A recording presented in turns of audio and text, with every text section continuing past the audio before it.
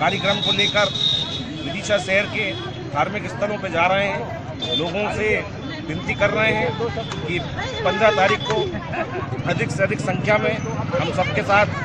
सूर्य मंदिर पहुँचें और वहाँ भगवान सूर्य देव की आराधना करें जनवरी का जो कार्यक्रम तय किया है पूजन अर्चना का और हाँ। उसके लिए एक संकल्प यात्रा मंदिर मंदिर यात्रा के रूप में आज हम लोगों ने यह यात्रा निकाली है और इसका उद्देश्य ये है